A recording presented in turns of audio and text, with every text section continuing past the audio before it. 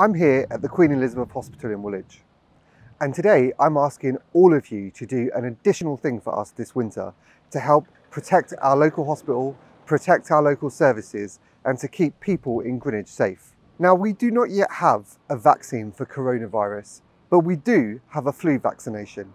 And that's why this winter we need each and every one of you to get involved and get vaccinated and that vaccination is free for the most vulnerable Greenwich residents. Also, you may be invited to get a vaccination by your GP, so look out for an email or a letter from them.